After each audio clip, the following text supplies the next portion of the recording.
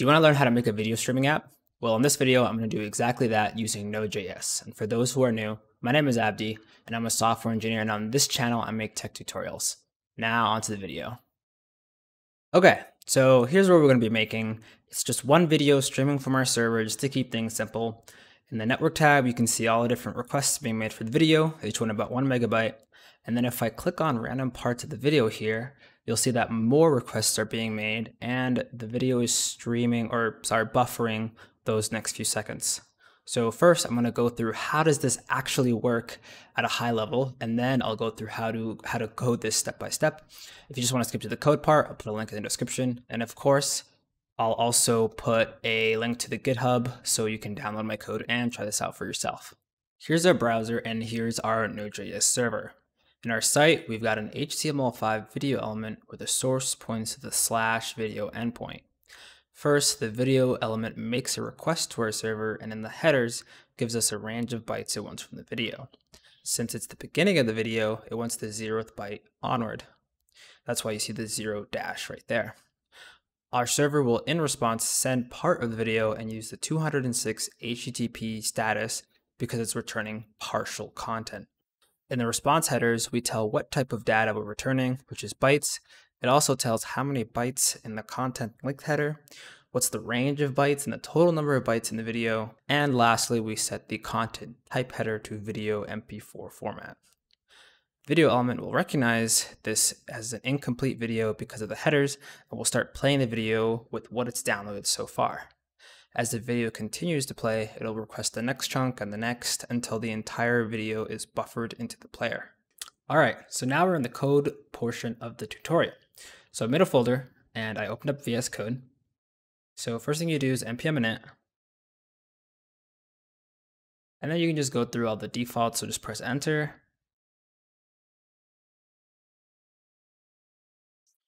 Now we're gonna need two different libraries. First is Express, and the other one is NodeMon.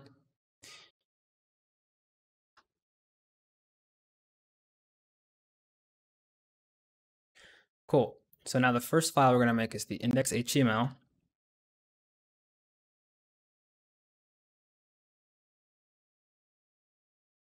And then I'll go through this at a high level. All right, so for the index.html file, I'm going to make a shell for the page and then we're going to name it HTTP video streaming. And then we're going to add a little bit of style. And lastly, for the important part, uh, I'm going to create the HTML5 video element. And it's got a ID for video player, a width of 200 or 650, and the source is slash video, which is going to come from our server, and the type of video slash MP4. Okay, so here's how that looks so far. Um, I'm just referencing the file, there's no server running, and of course the slash video endpoint is not working, but we're going to connect all those in the index.js. All right, so now we're going to write the slash video endpoint. So first off, I downloaded this video, Big Buck, and that's in the top level of my project. So in the code, what we're gonna do is we're gonna import fs, which stands for file system, and that's gonna help us actually stream our video by making a, a file stream and then returning that back to our client. The slash video endpoint, so when we go to slash video, it's going to run this function. We need to make sure there's there's a range header because otherwise we can't tell the client what part of the video we want to send back. So if there's no range, then we send back a 400 status to our client and say it requires the range header. Here's the video path. It's just bigbuck.mp4. And then we find the size of the video. And we're going to use this to tell the client how big the file actually is and also find out if our starting and endpoints make sense. So we're going to parse this range variable that we just got. It's going to look something like this. It's going to have bytes equals, and then this is our starting byte number. And then there's this dash, and then there's supposed to be a, usually there's supposed to be a ending bytes that it requests, but it's saying, just give me the rest, but we're gonna be giving it just one megabyte instead. So I set the chunk size to one megabyte, which is about 10 to the six. And then we parse the starting byte from the range header, which is originally a string. So first we replace all the non-digit characters with this empty string. So that removes pretty much everything here, not dash, and we're just left with a number. And with that, I convert it into a number. And then we calculate what is the ending byte that we're going to send back. So I first add the chunk size, which is one megabyte to the starting, but then that could go past the end of the video size. So in that case, um, if this number is greater than the actual video size, I actually end up returning the video size. And I do that by using this math.min function here. So it takes the minimum of these two. Next, we're going to start returning, we're going to create the headers that we're going to return. So first I calculate the content length, and that's just n minus start plus one.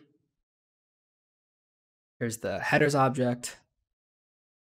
So in the content range, first we say what type, the starting byte, dash, the end byte, slash the actual number of bytes in the video. And then that way the video player knows like how far along is it based off of the um, the video size itself. This is also another way to say what type of data we're sending back. So I just write accept ranges bytes. And then I put the content length header, so how many bytes we're going to send back. And lastly, I send back the content type, which is video slash mp4 because it's bigbuck.mp4. Now we're writing the response back. So first we write the HTTP status. I'm doing 206 because that tells the browser that we're sending back partial content. This isn't the entire video. This is just the video from this starting point to the end point. And then we also set the headers. And then this is where all the big magic is. So we use the file system library to create a read stream with the, um, the big buck file and put that there. And then next we can also tell it what's the starting and end bytes we want to send over. So I just put those as an option uh, in this options object here. And for the very last part, we take this video stream and then it's got a, this variable by itself doesn't really do anything. So we've got to pipe this stream somewhere and we pipe it through this response object, which is what we were given back at the start of the function. So now I'm going to save this, open up our terminal, run npm start. Okay, now we're back in from. Uh, so I've refreshed this. Now we're actually playing the video and it's streaming.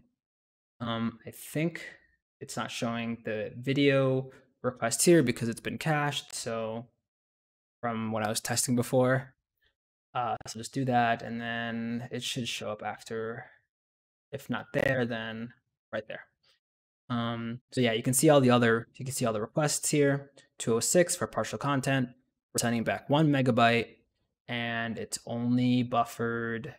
Uh, and we've only downloaded this small part of the video, but we're actually watching it without having to download the entire video, so it's streaming. All right, so what are the pros and cons of using this approach? Well, for the pros, so first one is that was super simple to implement. Um, all you do is create a file stream and then return it back to the client. It lets you select throughout the video and you can decide pretty much how big of a payload you can send back. I chose one megabyte, but you might choose send the rest of the video or just send like 100 kilobytes. It's really up to you. But the con is it's because it's so simple, server and like the video player aren't working together very well. So it'll just request the whatever part of the video you're on. It doesn't really think about uh, or take into account what you've already requested. So yeah, if I actually just go through, you'll see that more and more resources are being requested. And if I go backwards, and those same resources are being requested. So I actually ended up requesting about 180 or 204 megabytes when this is actually a 100 megabyte file. So it's a little ironic that you wanted to stream something, but you ended up uh, requesting more data than there actually is. So another step you could take is saving the data on the front end so the video player doesn't request more from the server. Yeah, so that pretty much wraps up the video. Thank you so much for watching until the very end. I really hope this helped you learn something. It was a lot of fun making this project. Don't forget to make sure to like the video and if you want to see more videos, subscribe to the channel. My name is Abdi and I will see you in the next one. Peace.